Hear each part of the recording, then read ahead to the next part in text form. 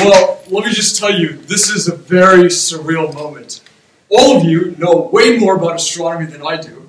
I've only been a member for a year, so the fact that I even have something to tell you is pretty unfathomable. um, I'm sure you know most of what I'm going to talk about, but hey. So, um, whoops. my name is Aditya. Uh, for those, most of you don't know, probably don't know me. I'm 18 years old. Uh, I've moved to the UK three years, three years ago. I've kind of lived all over the world. This is the fifth country I've lived in. Um, and uh, later this year, I'm going to be going to university here where I'm going to be studying computer science. Uh, I go to an international school here in the UK with people from over 60 countries. And we follow this curriculum called the IB Diploma Program, the International Baccalaureate. Now, there's a lot of elements, and much of it is a waste of time to tell you about. But, there, but I'm here to tell you about one uh, aspect of it and it's called the, oh, thank you very much. Uh, it's called the extended essay. And these two words, extended essay, strike fear and dread into the heart of every IB student in the world. so what is it? It's a 4,000 word academic dissertation on a research question of our choice and a subject of our choice. And some of you may be thinking, what, a 17, 18 year old writing a 4,000 word essay? That's so huge. Honestly, I would have preferred if it was 7 to 10,000 words instead. 4,000 is nothing. And the reason it strikes so much dread is because it's not just an essay, it's a mini PhD. We go through these five, whoops, hmm, we go through these five stages of extended essay pain, where we get assigned to supervisor, we pick a topic, we go through months and months of research, we write down our findings, and we even reflect and do a viva voce. So it really is a mini PhD compressed into a nine-month time frame. So I thought about all the different things I'd want to do, and I decided to write mine in physics, because everyone said never write one in math. And there were all these there, there were all these cool ideas that I came up with, but I couldn't do any of them because they all required equipment like the Large Hadron Collider in Geneva. so I had to focus on something simple. And then it hit me. Wait a second. I go to this astronomy club once a month maybe there's something in astrophysics I can do. And after going through about six different topics, I eventually realized that there were three questions I had that I wanted to answer. And I know I could find the answers to these through a quick Google search, but I wanted to try doing it myself from scratch. So my first question was, what's inside a star, right? They all look really pretty, but what's inside them? What kinds of elements are made up of them?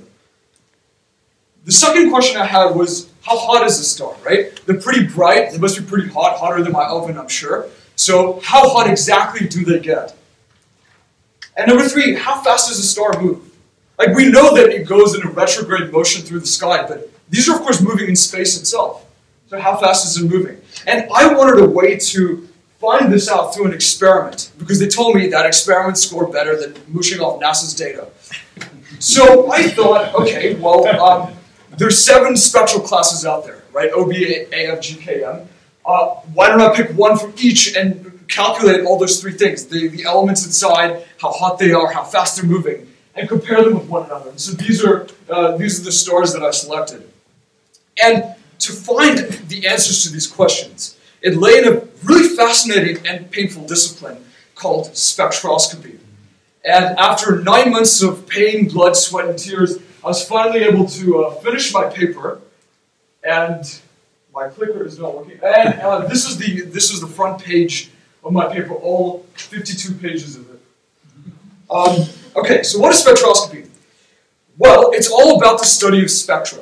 Now, these spectra are formed by looking how electrons and atoms behave. So, this is the Bohr model of an atom. We have a positively charged nucleus in the center, and surrounding it and orbiting it are these electrons. But they sit and occupy these sit in and occupy these discrete energy levels, right? They don't just float around randomly all over the place. And what, as it turns out, if I pass electromagnetic radiation towards the atom, the electron is going to absorb it, and it's going to get excited, and it's going to jump up energy levels. But it can't stay excited for long because it's an unstable state. So what happens is after a little bit of time, it jumps back down to a lower energy level and it releases uh, this uh, electromagnetic radiation at a discrete wavelength. And if we look at what's at the wavelengths of light emitted, we see that they only exist at specific uh, discrete points. So these are the, uh, the elements, uh, the atoms of a bunch of elements, and you can see that uh, for each of the corresponding wavelengths, some lines show up. But what about from a star? What if, what if I want to know what elements are in a star? And, and you can find all kinds of information from the spectrum. Well, as you're seeing the light coming in from a star, let's say there's a cloud of gas or dust between you, the observer, and the star itself. Well, what's going to happen is as that light travels, the electrons inside the gas and dust are going to absorb this radiation and they're going to jump up. But because that only happens at discrete values, the rest of the light is going to come through. And what we get instead is this thing called an absorption spectrum, where we have the full continuous spectrum, but then we have these dark bands here in the middle. And that's what those electrons have absorbed and gone up by. And just to sort of give you a comparison, uh, we have a boring continuous spectrum there, which I guess is pretty colors, but doesn't really tell us anything. And then we have the emission spectrum I mentioned, and the absorption spectrum I also mentioned. And if you notice, they're actually mirror images of, uh, they're actually the inverses of each other. Now, I'm going to let you in on a little secret, uh, which you probably actually already know. If you begin to uh, add more and more of these energy levels, and you start to number them, 0, 1, 2, increasing as you go out, what you find is that when an electron jumps down to the second energy level, it releases visible light. And because it releases visible light in that transition, we can use optical instruments with stars to figure out uh, to figure out the spectra and answer some of those questions. So how do you do it? Well, one of the instruments you can use is a, something called the diffraction grating, and this is the one I use. It's called the Star Analyzer 100. And the way diffraction grating works, if you don't know, is it has a lot of lines or slits on it.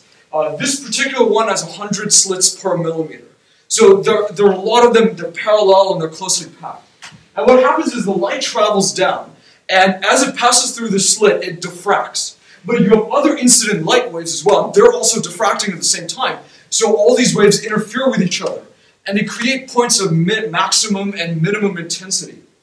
And so if you hold this, uh, this was, I borrowed Alan's uh, grating. He was very, very kind to lend it to me.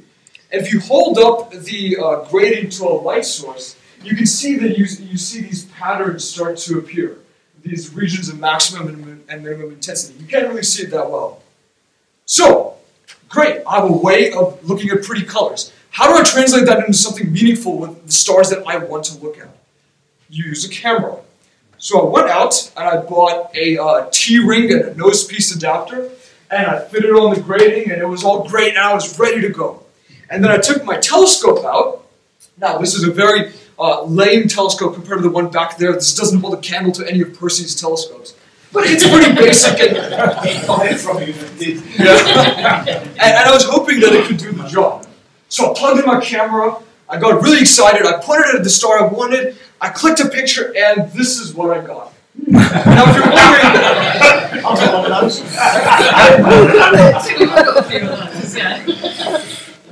yeah, so nothing. And I tried varying uh, how it's plugged in, I tried varying the star is pointed at, tried varying the balance, I tried everything, and I kept getting this image. Deeply, deeply frustrating. And even when I was looking at the, the star in the live view, nothing was showing up. So, frustrating. So, I, um, I, I, decided to phone a friend, and I sent out an email to the society. Some of you may have seen it last summer. Uh, and Tim responded, and he agreed to let me, and he had some experience imaging, so he agreed to let me use his telescope with him uh, to try to capture the spectrum of these stars. So I went over to Tim's house, and my mind was immediately blown because he has an observatory. And for any of you who have an observatory, this is instant street cred for anyone who knows you. Because the next day I went to my friends and I was like, dude, check it out. I was at somebody's house and they have an observatory. And they started worshiping me like God. So, really, really cool stuff. Unfortunately, I have to give credit to Tim, and I, I couldn't just say it was my telescope. But uh, as you can see, uh, we, we got the, the camera plugged in, we had it uh, pointed at the right star. I had to cut half, that, that star list I mentioned earlier, that went through like 10 revisions because of trees, clouds, and just generally crappy English weather. so, um, so we tried this, and, if, and we clicked a picture, and I was so enthusiastic, but once again, we got a blank image. And then I got terrified. Oh no, I'm going to fail the essay. And if I fail the essay, I fail my entire diploma. So, and then I don't go to university and I get a bad job and my life is ruined. So you can imagine the stress on me at that time. But then we started varying the distance between the camera and the, se the sensor of the camera and the telescope itself.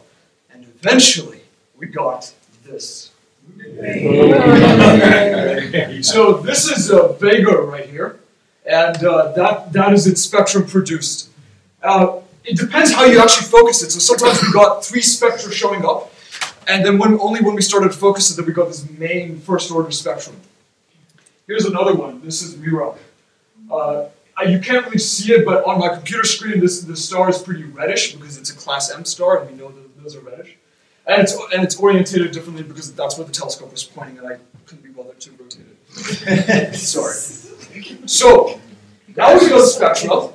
How do we answer these questions? Well, we could sit and do a, a bunch of fancy math that nobody knows how to do by hand, or we could use computer software. So that's exactly what I did. So what is the star made of? So I plugged it, I, I put the uh, image of the spectrum into the computer software, and how it works is it looks at each pixel value and it pulls it apart and assembles it into this nice curve, like so. Like so. That's really bad. There we go. So um, this is a this is the spectrum after calibrating it. Uh, if anyone doesn't know what angstroms are, that's basically uh, 10 nanometers, or actually wait, 0.1 nanometers. That's what it is. 10 times 10 to the, uh, 10, 10 to the power of negative 10 meters. Um, and these units, I got very excited about what these units would mean. Turns out they're just arbitrary. Um, so I started to try to figure out what kinds of elements were present in the star based on the spectrum. And the way I did it was I took out this huge star atlas, which I had in PDF form, of course, uh, and what turns out some very smart scientists uh, figured out that specific wavelengths of light correspond to specific elements. So you see, wherever here in this graph there is an absorption dip, like right here, for example, that probably corresponds to an element. So I would go through the, the star atlas and see, is that wavelength, whatever that is, it's what, let's say 4,300 angstroms, is, is there a wavelength in the star chart, uh, the star atlas, that corresponds to an element at that position? It turns out there is, and that's called, and it's called, uh, it's a, it's a type of hydrogen, it's called hydrogen gamma. And this is part of the hydrogen Balmer series. And I was able to figure out a bunch of other elements using that same procedure, like hydrogen delta, uh, oxygen, hydrogen beta, iron, and calcium. Here's another example, a more refined example. This is from Muroc, that class star I mentioned earlier. I found some weird chemicals here, so I thought I was wrong, but hey, I can always talk about that in my evaluation. So I found a titanium oxide, uh, vanadium oxide, magnesium, and oxygen. Although I must say this oxygen was pretty dodgy because if you look, there's a lot of noise here before and after the, the spectrum peaks. But if I only had three elements, my experiment would not look that great, so I decided to just kind of fudge the results and throw that in there. That's what science is about. It's about, you know, doing the genuine stuff where you can and fudging the rest. okay. And uh, here it is summarizing it for all the other stars that I looked at. So if you see some of them have, uh, like Vega, have a lot of elements that I was able to identify, and others were seriously lacking like Markab. Uh, maybe I could have found more, but it was honestly really hard. And in some elements, I was really looking where there were no absorption dips. I was just looking for some inconsistency in the graph so that I have something to write about. And so these are some of the elements that you know are that are in stars. And I, I like to quote Carl Sagan here, who said once that we are all made of stardust. And you know, so and many of these elements are present in the human body, the rest are present on Earth. So I think it's a very apt quote from Carl. Second question, how hot is a star? So I did a bunch of data processing which involved correcting for the errors in my camera. And in the end, I got this thing called a Planck curve, which I still don't really know what it is, but the guy who made the software, Tom Field, told me that that's what I should be going for. So uh, this is a better look at the interface of the software. So here, uh, I've basically squeezed the star and its spectrum on the uh, uh, on the left-hand side. Actually, I forgot to mention something. If I go back here, uh, this peak right here is the star itself. So we tend to ignore that, and we only tend to look at this uh, this other peak here, which which is more indicative of the elements inside. So back here, I've done all this data processing, which has resulted in some weirdly noisy data right there. Uh, but I've got this Planck curve. Now, there's two ways I can calculate the temperature. I'm going to tell you about one. Uh, and that is by finding a curve of best fit uh, from this reference library. So they had a bunch of temperature curves, and I basically tried to find the one that, that corresponded the best with this graph. And you can see it says 10,100 Kelvin. In the end, that's not what I wound up using because I found that the, the, the literature value of the star was something like 8,500, and I want to minimize my I wanted to minimize my error. So I tried to use a, a lower uh, temperature curve and try to hope that it would fit, and it kind of did. Um, and in the end, what I got was this uh, was this table. I just want to point out here, Zeta Ophiuchi, if I'm pronouncing that right, is at 30,000 Kelvin. That's insanely hot. And that ranges all the way from a class O star all the way down to a class M star that's only 3,700. That's pretty remarkable. Just the, the sheer, I, when I was looking at this data, it was pretty humbling. Know, just just look at the sheer scale and the spread of the, the temperatures of stars. Okay, so that's the second question kind of answered. Third question is how fast is a star moving? So we use a tech, well, I say we, uh, astronomers use a technique called, uh, by examining redshift and blueshift to try to figure out um, if a star is moving away from us, towards us, and how fast. So I decided to look at hydrogen gamma, um, and I noticed that the, the value that I measured in the star itself, which was uh, 304, which was 4345.50 angstroms, was larger than the literature value if measured on Earth in a lab, which was 4340.47, which means this star has been moving. Because as a star, let's say a star is moving away from you, right? The frequency of the light that's coming to you is getting uh, is getting lower and lower, and so your wavelength is getting longer and longer. And as a result, it's moving into the red end of the spectrum. On the other hand, if a star is coming towards you, uh, its uh, its spectrum is shifting into the its spectrum is shifting into the blue end because the wavelength is getting smaller and smaller, the frequency is getting higher and higher and higher. So I did I plugged in uh, these I figured out where it showed up on my graph, did these fancy calculations, and I got this huge number of uh, 347.66 kilometers per second. Uh, and I did the math for the rest of the stars. And I don't know why there's a discrepancy in the data, but I, I think I forgot to change that calculation. Too late now. Um, and I got, I got these huge values here. 1690.20 uh, kilometers per second. The only, uh, unfortunately, as it turns out, this is all wrong. The only thing that's right here is whether it's been blue shifted or red shifted. And even there, I was kind of cherry picking my data. But over here, all of this is wrong. In fact, the real values are like 1 kilometer per second, 0.6 kilometers per second. So in my evaluation, I got huge percentage errors. Uh, and it turns out that this is because the uh, star itself is, uh, uh, sorry, the, the, the grating itself has such a low resolution that it cannot discern that level of stellar movement. So I set out on this nine-month journey with these three ridiculous questions for an 18-year-old to ask experimentally. What's inside a star? How hot is it?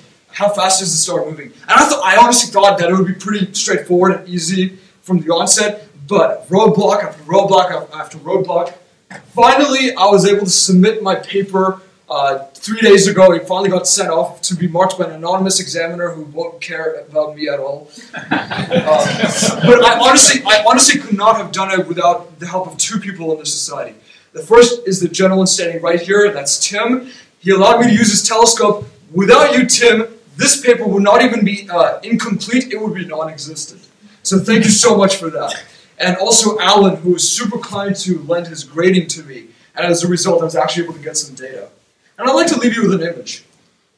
Um, okay, the image is one of All right. So on the last day of uh, imaging with uh, Tim, uh, we took this picture. And uh, this is the Ring Nebula right here. Uh, and all these rainbow lines you see are the spectrum of all the stars surrounding it. Uh, and this green circle here and this red circle is basically the emission spectrum of the Ring Nebula. And uh, Tim did some analysis on that and was able to point out the elements. I think it was oxygen and hydrogen, if I remember right. Something like that. But just a beautiful picture that I want to leave you with. Thank you so much for having me.